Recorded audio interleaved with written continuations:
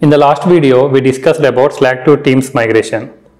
Let's take a close look into how to migrate Slack channels as teams and preserve Slack owner and membership as teams owners and membership. Also, we are going to explore a lot of advanced configuration options available to customize your migration needs. Let's look into first module to migrate channels as teams. Here you can make the new Slack connection. It will redirect to the default browser. You can provide your credentials here and then click allow. And when we return back to the tool, the connection will be established. Now you can choose your connection and click on next. Now Slack is configured in the tool. This is a one-time process. If you establish the connection, from next time onwards, you can choose your existing connection and can simply click on next. The second step is meant to connect to Office 365 tenant. Here is where you will establish a connection to your Office 365. Similarly, you can click on add new destination connection. You have two options, whether you can uh, input your credentials here or you can click on browser authentication mode if MFA is enabled. It will redirect to your default browser and then you can use your credentials to sign in into Teams. Since I already have a connection here, I am proceeding with existing connection.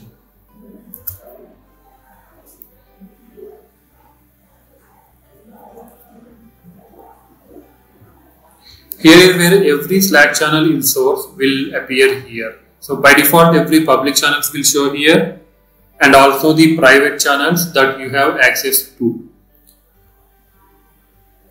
We can migrate all at one go or else we can optimize our uh, migration speed by choosing chunk-wise chunk-wise process. We can select the a batch of channels to be exported in single go and then we can schedule the migration.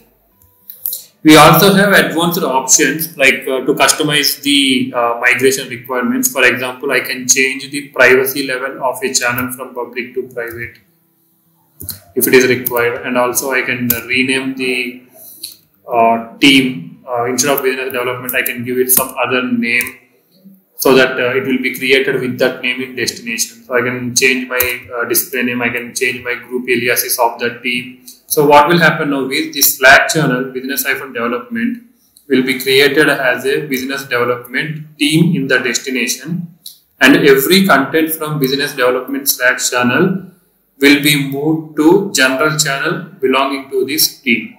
So here is we are migrating Slack channel as a team and by default every content will be moved to general channel inside this team.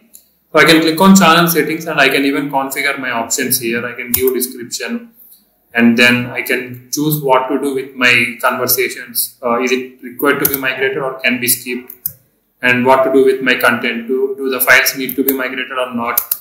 I can choose my options and I can hit next to migrate the selected channels as teams.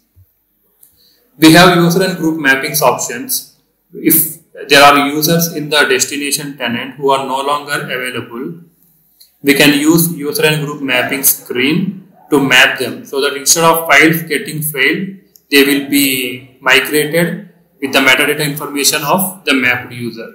You can search for any service account and you can map with all unresolved users to automatically handle each and every user who are no longer exist in destination environment. You have options to search as source and destination like one-on-one -on -one mapping. For example, we can search one of our user in source that we want to completely replace with following user at the destination. So like this we can do one-on-one -on -one mappings if we wanted to replace a particular user from source with the destination user. So this mapping will reflect in user and groups permissions and item metadata if we do one-on-one -on -one mapping. However, if we do all unresolved users mapping like uh, with a particular single user, this all unresolved user setting only applicable to file metadata. So this setting won't reflect in permissions. So it is safer to use all unresolved to always map with any of the service account. So this information is used to preserve metadata information uh, since sometimes files may fail to migrate if there is no uh, user exist who belonging to it. If you wanted to replace a user completely to reflect in permissions and owners and membership information, we can do one-on-one mapping. So this is a uh, glimpse about mapping screen. And then when we are at the global settings screen, so here is how you define your migration. For example, if it is a first time migration, we can choose item exist behavior as don't copy. And if we are doing the incremental or delta migration, and uh, we can have the multiple options here to choose from. If you choose copy newer, the source files will be copied to destination only if they are newer. That means either they are modified or created newly in source, only those will be migrated. If you choose copy and replace, so every file from source will be copied forcefully to destination and the items in destination will be replaced. So depending upon your needs, you can choose the item exchange behavior. So for now we are choosing don't copy because this is our first time migration. And similarly we have some other options. So these are the major options like in this page and uh, we also have one more additional option. Do you want to append the following header to each conversation? So this is uh, like for example to identify the conversations or messages where they came from whether they are manually created by the users in the destination or it was performed by a tool. So to give that identity we have we will append this following message to each and every messages that we migrated using the tool. If you don't want, you can skip it.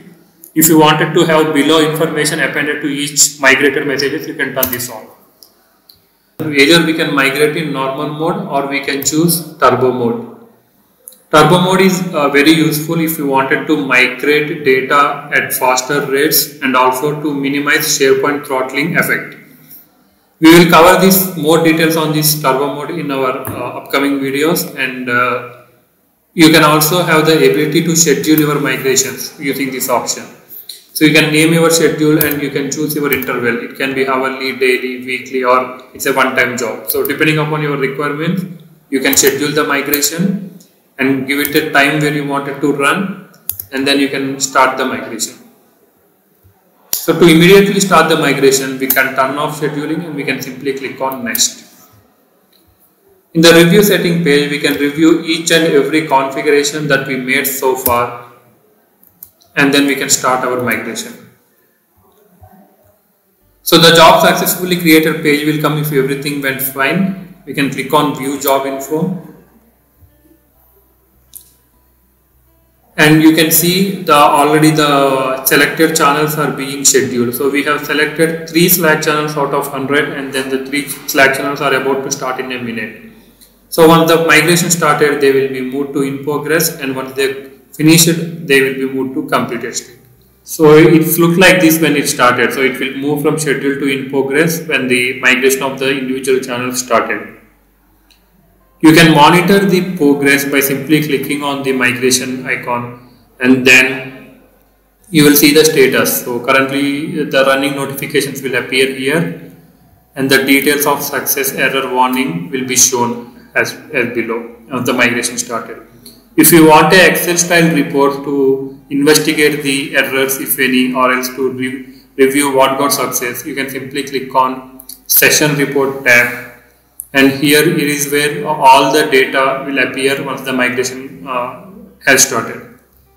Once the migration completed, all the channels will be moved to completed state and here is what the report looks like once it's completed. You have the summary tab where you can uh, filter the reports. Like uh, for example, if I wanted to see the errors in the report, I click and click on errors. There are no errors here. If you wanted to see the success or and all the things, I can select all and I can review the details. So we will come in detail about how to analyze the report in the upcoming videos and uh, uh this is how we schedule the Slack to Teams migration. Thank you.